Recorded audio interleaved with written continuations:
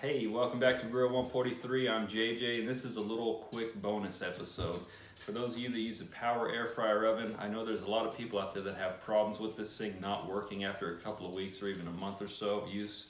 I'm gonna show you a real easy fix. There's no reason to go get your money back or try to exchange this for another one. It's very simple fix. And the problem is this, when you go to plug it in and use it, you close the door, you see the light stays on, and you can't no, nothing on the control panel works.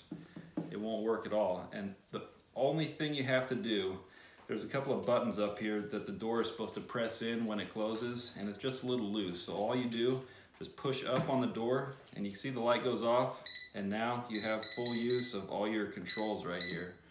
So that's one thing. There's another thing, sometimes if you go to do that,